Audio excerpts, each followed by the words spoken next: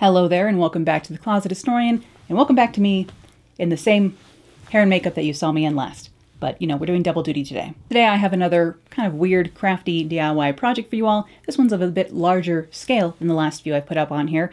Um, I have another display for more of my bug jewelry to make today. This was the first one I kind of envisioned doing, and then everything else kind of just, like my redecor redecorating project up in my bedroom kind of sprung out of this idea, honestly. But I was trying to think about ways to store and display my insect jewelry. And of course, I have that shadow box that I made here on the channel recently. I'll put a card up to that. But the first idea I had was to make sort of a naturalist or like entomological, entomological sort of natural history museum almost looking display out of a giant glass cloche. We all know how I love my glass jars and such, my, my dust collectors, as I have all around here in the studio and then up in my bedroom as well. And so I decided to go ahead and try and find a giant one, and I was able to. I'll put a link to the place where I found this giant glass cloche below, but it doesn't seem that they have them anymore, so I, am not exactly sure the best source to get these. This one came wrapped super safely, so if this store does pop up with more of them, I highly recommend them. But I have this giant oversized glass cloche and I'm going to try and create some branches out of posable wire and felt. Felt because then I can go ahead and pin my brooches into them. So I'm going to try and fill this with like a bit of dead tree, or at least it will look from far away like a bit of branches, and then pin all my bug brooches to those. I have sort of an idea of how I want to do this, but I'm not sure if it will work. Let's dive on in and get started. All right, here is my giant glass cloche. Once again, it's very fun. The glass on this is not perfect, by the way. It's got a lot of imperfections going on. There's actually quite a big bubble on this side, but I don't mind because the waviness and the imperfections in the glass make it look antique, which is not a problem to me. And the base here, it does have a little made in China sticker on here. I'm, i was like, what? What is this talking about? I was trying to figure out if it had the name of who makes these things, um, so I could look up where this glass cloche comes from and buy more of them hopefully in the future. But I'm sure it's wholesale. So I got these pieces of sliced log, pieces of wood from Michael's craft store. I was originally going to go ahead and uh, stabilize everything and drill right through the base of the glass cloche but then I figured I might want to put this something else inside of this glass one day. I might want to move this display out of here or move it into something else one day. So I should make it removable and uh, give myself a little bit more flexibility. So I have various colors of felt here. I have this sort of grayish brown that I'm going to use for the branches themselves, and then I have that green that I'm going to use to kind of cover up this base.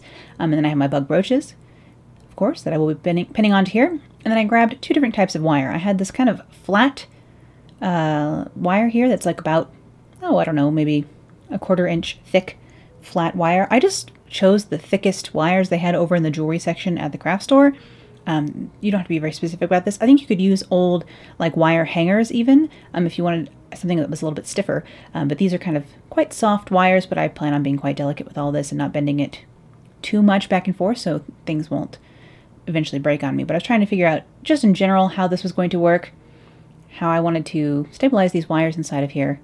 Um, and I decided on five main branches here. So I'm just marking out five branches, one in the very center of this log, and then kind of surrounding that for others. So I can put these little pronged sections of wire up through the base here. So I just marked out five spots equally spaced here on my log. And I'm gonna go grab a drill from my dad and drill holes in those spots. So luckily my dad has tools around. So I just went ahead and drilled through this log with a larger drill bit so I could feed wire through it, like so.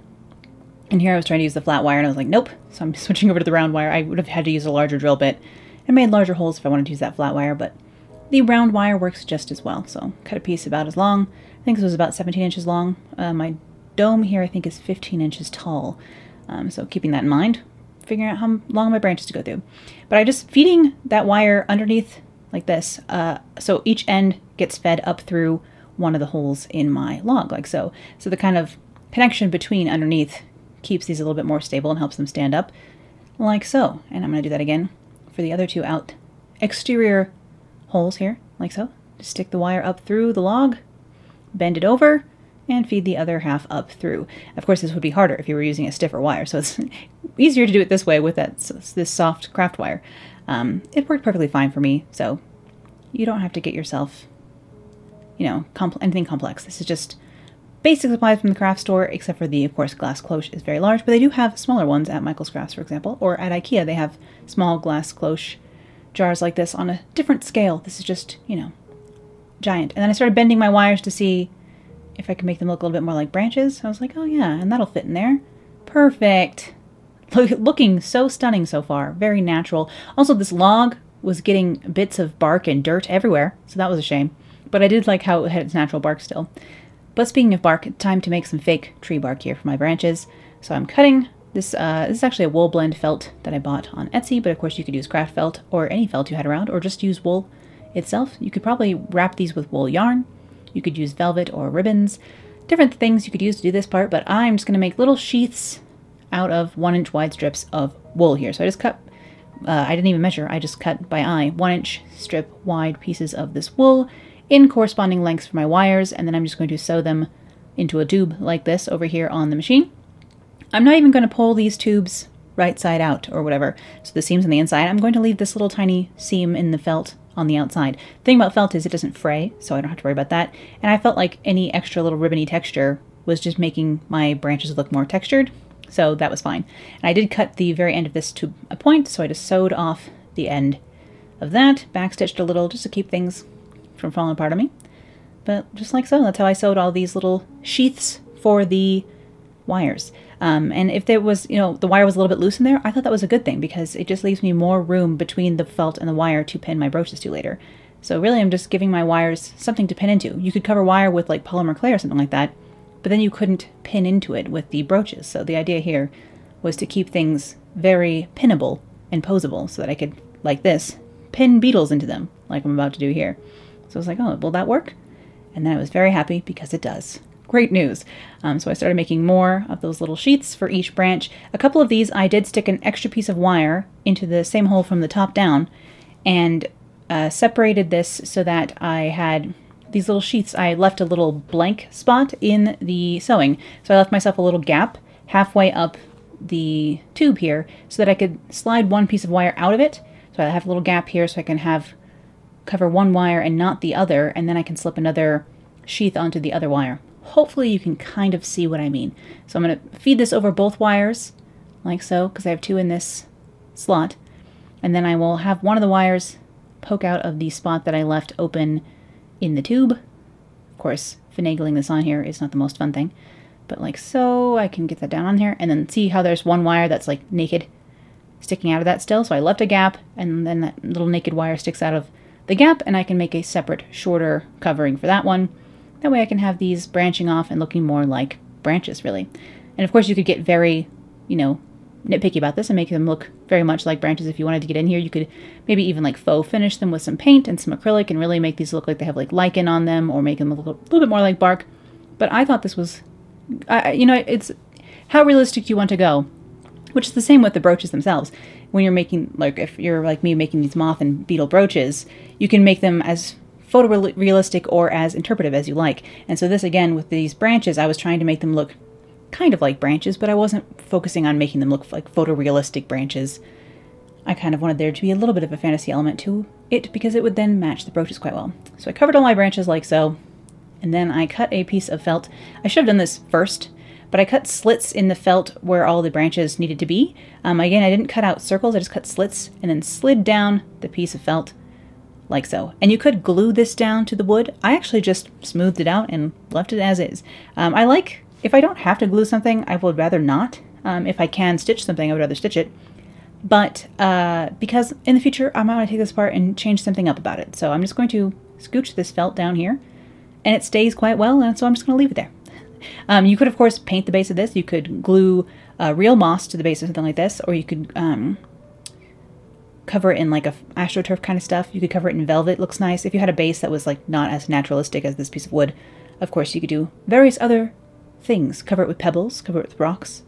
Um, here I'm just cutting some rough, like dried leaf shapes out of the extra felt here and just winding those around, kind of twisting them a little bit and leaving them on the forest floor, as it were, here inside this terrarium.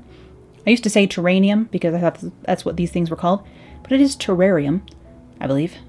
so that's very embarrassing for me in some of my older videos of me saying the word terranium when that isn't a word. But like terrain in an um, you know, terrain. I thought you know? But no, it's terrarium. Whatever. Anyway, I have some of this variegated yarn, and I'm going to wrap it around this little card from Mood to create some very loose, very floofy pom-poms that are going to serve as like some fuzzy moss down here.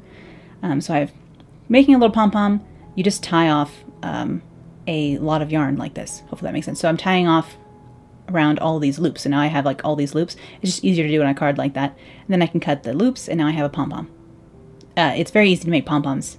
It will take you two seconds on Google to find varieties of them. Now I didn't tie it tight enough, so I kept pulling pieces out of my pom-pom. Oops. But I'm using a rat tail comb here to floof the yarn so that it looks like fuzzy moss. Um, this is just acrylic yarn, I think. I don't think any, I don't even think there's a wool blend in here from, again, Michael's Crafts. Um, but I thought it was good colors for doing something like this and making moss out of it. So I made another one of those pom-poms, and again, I'm just floofing most of it up with the comb. Of course, I'm getting a lot of fibers on my comb. And again, I could stitch these down, I could glue these down, but they just stayed in place if I put them there, and they're not going to get any movement. So I just arranged them how I liked. And if I need to rearrange them or remove them in the future, I can. And I took some of the spare fibers that had got caught on the comb and I kind of wove them around some of my branches so it looked like moss was creeping up these branches um, or that they had a little bit of lichen on them and stuff like that. So the thing about felt is it's, or not felt, but like uh, fibers that are made to mimic wool and or wool fibers themselves is that they like to stick to each other.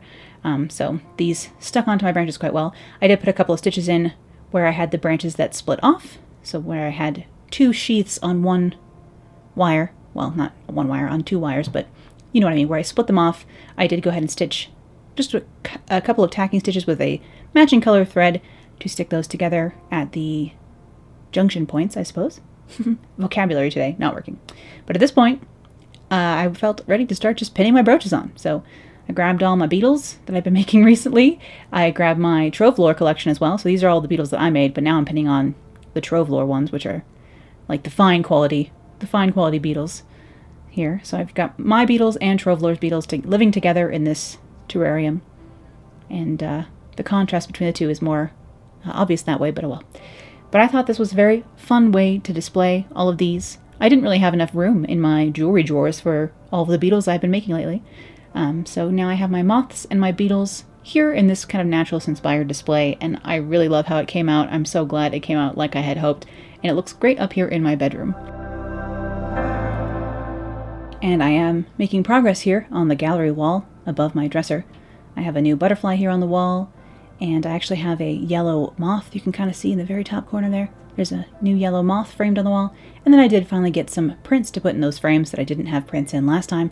These uh, two main, the Veritas on the right and the um, floral in the center, printed at FedEx because the prints I had ordered were had still hadn't shipped, and I thought, you know what, I'm giving up. So I got these printed at FedEx, um, and it worked out quite well. Thank you as always for watching this video today, and Happy New Year! I will see you all again here real soon. Bye.